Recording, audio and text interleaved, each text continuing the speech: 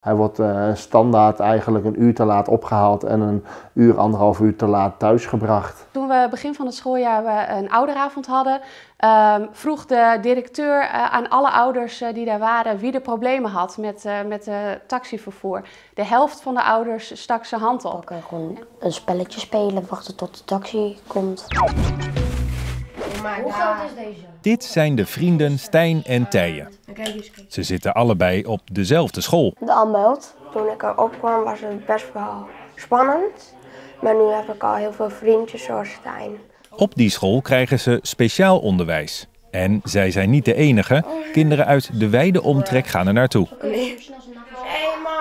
Voor veel ouders is het vervoer van en naar het speciale onderwijs een grote zorg. Zo wordt Stijn gehaald en gebracht door een busje. Maar dat gaat lang niet altijd goed. Hij wordt uh, standaard eigenlijk een uur te laat opgehaald en een uur, anderhalf uur te laat thuisgebracht. Hoe kan dat? Dus, omdat er personeeltekort is, uh, krijg je het te horen. Ja, ja, ja, ja. Eén keer ben ik eens een keer bijna niet tot vijf uur opgehaald. Zat ik nog om vijf uur op school. En wat doe je dan? Een uh, genoomboek pakken, gewoon een spelletje spelen, wachten tot de taxi komt. Tijen wordt gebracht door een van zijn ouders. Die krijgen daarvoor een kilometervergoeding. Van de gemeente voor de kilometers die we maken.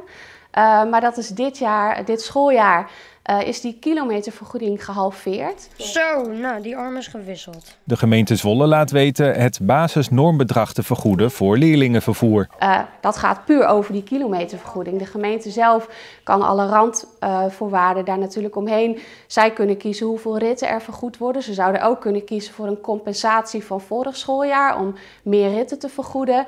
De, de gemeente zelf heeft ook nog wel uh, ja, meer rek dan ze, dan ze zeggen. Een reactie van het taxibedrijf hebben we niet gekregen. Bij mij gewoon stress, omdat ik het gewoon jammer vind dat hij gewoon zoveel school mist. En hij zit op speciaal onderwijs om, om goed begeleid te worden. En ja, dan heeft hij die tijd nodig en die mist hij nu gewoon. En ik vind het gewoon jammer dat hij die tijd mist op school.